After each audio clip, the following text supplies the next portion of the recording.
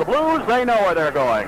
They'll be going on to the first round of the playoffs to play the Buffalo Sabres. They'll meet the Buffalo Sabres in the opening game this week in St. Louis because Buffalo has a basketball game going on in their arena. Then it's back to Buffalo for two games in a row. Now, the Blackhawks start with their best. Billy Reay goes with his ace at center ice, Stan Mikita. He'll be facing off with the best from the St. Louis Blues, Gary Unger. Here with a play-by-play, Lloyd Pettit. Esposito in the nets to our left, and Eddie Johnston, the veteran, in the nets to our right for the St. Louis Blues. Staniowski last night in net for the Blues did a fantastic job for a young 20-year-old goaltender, and now they're going with a veteran. The opening face-off, the puck behind the St. Louis net and checked away from the play. Here's Mikita behind the net. Marks tries to center it out. He's checked there by Smith. Loose puck off the near board of the St. Louis zone, taken by Irvin. Right out to Unger to the center line. His pass deflected to the near board. At center ice and still. Unger retreats into his own zone, being forechecked by Mikita. Unger drops it to Smith. Rick Smith leads it out to center ice to Irvin. Irvin at the center line, dumped into the Hawk zone. It goes to the backboard. Into the far corner, and Marks puts it behind the Hawk net. And off the near corner on the near board to Koroll. Koroll to Mikita. Mikita to the center line. Well checked on the near board of the loose puck. Still at center ice, and Mikita has it. Leading to the far board at the center line, and John Marks dumps it off the board to the backboard and tipped away by Johnston behind the net and cleared off the near board. Still in the St. Louis zone, and out to center ice on the interception is Tallon. Knocked down by Smith. Back to center ice, and Tallon avoids a check from Barclay Plager, and the puck again in the St. Louis zone on the backboard, and Unger comes out on the left side. Gary Unger leads a left wing pass taken by Smith. He's out to the blue line, leads to Irvin to the center line, and Irvin skating toward the far board. Throws it off the far board over the hot blue line, but the whistle blows. The Blues are offside. Ted Irvin, a veteran player in the National Hockey League, started in the Boston system. Came up with them in the latter 60s and the early 70s, and a lot of good ones came up with Boston at that time, and a lot of them went to other teams in the league. It seemed like Boston had a few years where it was in the cellar, so they had a chance to accumulate some very good players, and Irvin was one of them. Face off outside the hot blue line. The draw deep into the St. Louis zone taken by Affleck, and he stands behind the net. Just underway with our all-important hockey game for the Chicago Blackhawks. Back to the blue line, and Redmond passes intended for Boldirev. It was out of his reach, and Affleck has it off the backboard. 18 minutes and 30 seconds left to play in the first period. No score. Neither goaltender has been tested as yet. Redmond with the loose puck off the center line, off the far board. Leads on right wing, intercepted by Berenson. And Berenson leads ahead to Plot to Berenson to the Hawk blue line of Plot. Plot shot is broken up by Bill White. Rebound into the far corner and Dennis Hull. Checked along the backboard and put down. And the puck is free behind the Blackhawk net. And now it's on the backboard and still free right in front of the referee, Wally Harris. Into the near corner, put to the side of the net, let out in front. The Boldirev clears it away off the near board and taken by Pit Martin. Martin left wing lead to Boldirev. Boldirev in the center line, to the blue line. Boldirev leading to Dennis Hull, broken up by Affleck at the left wing position and dumped out through center ice and Redmond on it in the Hawk zone. To the near side and Bill White at the Hawk blue line. Off the near board, Bill White's pass is deflected by Plot. Deep into the St. Louis zone and taken there by Affleck behind the St. Louis net. And again, a lot of the action between the blue lines. Almost stolen away by Dennis Hull. Broken up by Redmond up the center line. Redmond back to the center line. To the blue line. Left wing lead the ball to Boldirev. Boldirev with a slap shot deflected. On the rebound. A shot and a goal!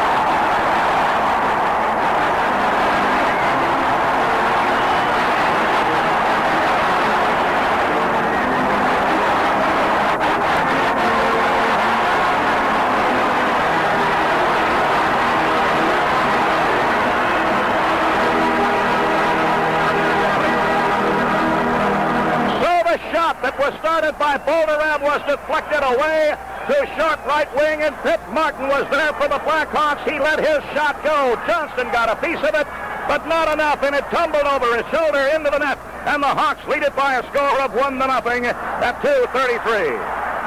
Center ice play, the interception after the faceoff by St. Louis. Return to the Blackhawks zone. The whistle blows. Offside call. Gunzo Sports Center at 7706 West Madison Street in River Forest, Illinois is a franchise dealer for all Blackhawk items. Gunzo's has a complete selection of all hockey equipment bearing the Blackhawk crest. So stop by soon and inspect the vast array of hockey equipment now available at Gunzo's.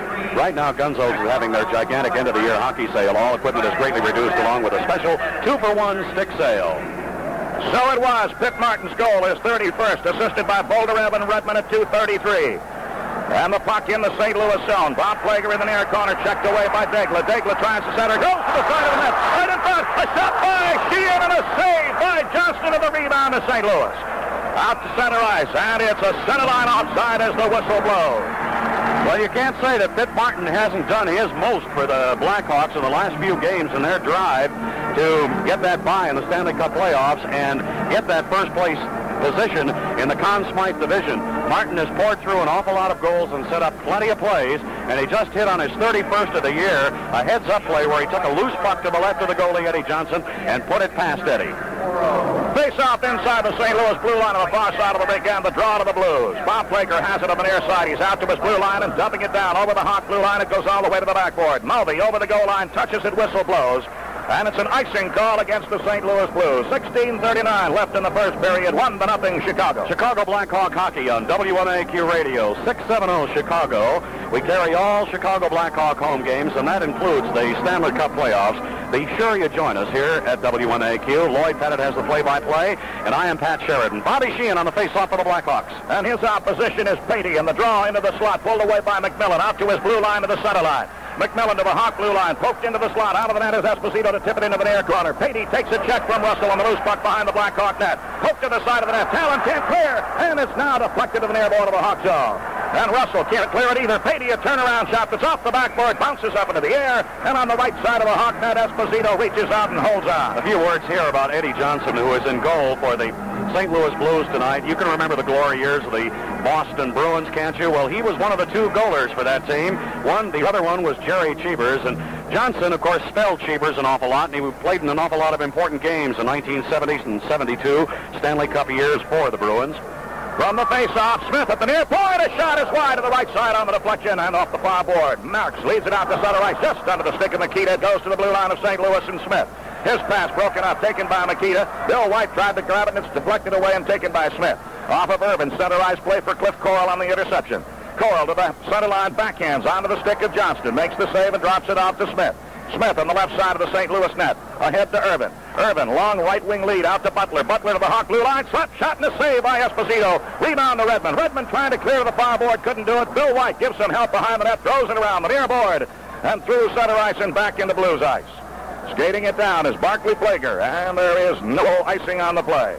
Plager forced into the far corner by the forechecking of Mikita. Leads it ahead to Butler. Butler to Unger at the blue line to the center line. Unger winding long shot wide to the right side. Rebound off the backboard and Redmond pokes it back out to center ice. And taken by Smith, retreating into the St. Louis zone. 1 nothing in favor of the Blackhawks. 15-17 left to play in the first period.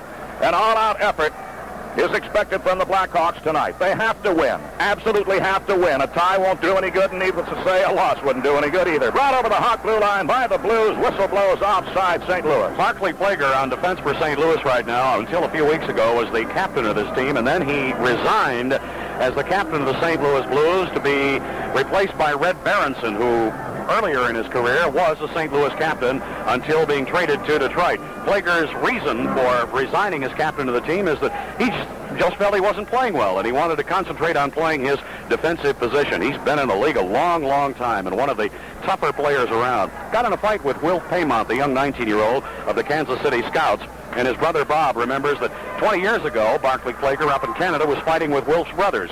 Face off outside the Hawk blue line of the draw, back into the St. Louis zone and picked up by Gassoff. Gassoff behind the net, skates it into the far corner. Now he leads it back in front of the St. Louis net to Affleck. Affleck to Berenson to the center line. Long bouncing shot and a save by Esposito. Rebounded to the far corner. Dennis Hull trying to clear it. Can't do it. Being held away from the play by Plot. Tallon comes in on it. Holds it against the backboard. Behind and to the left of Tony Esposito. Face off in Chicago ice. Bob Gassoff came up to the St. Louis Blues as a very rough-edged hockey player, mainly known as a fighter out of the Central Hockey League, and they brought him up when they decided to make the St. Louis team a lot rougher team. He has developed into a pretty good defenseman. Face off in the Hawks on the draw to Tallon. Throws it off the far board. Knocked down by Plot. Plot with a shot and a save by Esposito. Another good save by the Chicago goaltender. Let out to center ice. Taken by Lefley. Backhands into the Hawk zone near corner, and Martin retreats. Picks it up, skates it to the side of the net. Behind the net comes out into the near corner. And leads it off the near board. Ahead to Boldirev. And Boldirev just flicks it out to center ice, and it's intercepted there by Plot. Plot backhands back into the Hawk zone to the stick of Esposito. He tips it off the right side of the net, and Magnuson. Magnuson into the far corner to Dennis Hull. Returns it behind the net to Dale Tallon. And Tallon throws it off the near board, intended for Martin. Martin can't clear. Grab by Gassoff. A shot and a save by Esposito, but he holds on. A beautiful save by the Chicago goaltender. The shot came from the near point by Bob Gassoff, and Esposito was totally screened. At the last split second, he made the move to make the save. So frequently you talk about a goalie's positioning saving himself in bad situations, and in that case, it was positioning by Esposito that did the job. Face off back to the near point. The shot by Gassoff deflected into the near corner of the Hawk zone. And Magnuson throws it behind the net, around the far corner in the far board, and Dennis Hull leads it out, but it's deflected back into the Hawk zone, but taken by Magnuson to the near board to the center line, and he flicks it over the blue line of St. Louis. Into the far corner, and Plott picks it up for the Blues. Has it behind the net. 13.45 left to play in the first period. One to nothing Blackhawks. And the puck kept in by Tallon, thrown around the near corner. It goes to the backboard, and Gassoff puts it behind the net into the far corner, and Affleck brings it out for St. Louis to Berenson. Left wing lead at center ice, broken up by Magnuson and taken by Martin. Wheeling back inside his blue line, dropping it to the near side, and Boldirev. And Boldirev to the far side, and Tallon. Out to center ice, right wing lead, back to Boldirev, under his stick and over the blue line into the St. Louis zone, but taken on the interception by Berenson, and back he comes to his blue line to the center line of the Hawk blue line. And brought over into the slot by Plot. Can't control it. It's off the near board. And Plot puts it deeper into the corner and now out in front of the deflection taken by Boldirev. Off the foul board and Dennis Hull can't catch up with it. Taken now and dropped back to Berenson inside the Hawk blue line, led to Lefley. Lefley back to the near point, and Gassoff. Gassoff with a shot is knocked down by Lefley, and Lefley is knocked down by the puck as Gassoff and Magnuson collide heavily, and Gassoff is hurt in the play. Out the center ice come the Hawks, pulled around to the blue line, a slap, and it's over the crossbar and off the backboard. And Gassoff just let Magnuson have one as Magnuson was going onto the bench. Play. Here is Patey to the Hawk blue line, poked away by Tiller. The center ice. And now, Plott dropping it back to the... the Blackhawk fans are really upset because there's a long shot turned away by Esposito. We'll explain this to you in just a moment. The play continues. Broken up by Martin. The Hawks are two on two. Martin left wing leads to Daigle over the blue line. His shot is deflected into the near corner of the St. Louis zone. And Sheehan digs for it along with Hrechkosy. And off the near board. Hrechkosy trying to bring it out. It is out the center ice. Poked out by Martin to Sheehan. Sheehan stealing it away. Out of the net comes Johnston. Clears it away from Sheehan. The puck off the far board. And Daigle to Sheehan. Sheehan leading into the slot. Checked away in the play and the loose puck out to center ice. And Bill White at the Hawk blue line. Led to the blue line by two Sheehan, and Sheehan brings it over. Too late, the whistle blows. The Hawks are offside. What was the best Blackhawk team ever? Well, you're bound to get arguments on this. And now we have a little dispute going on down below us.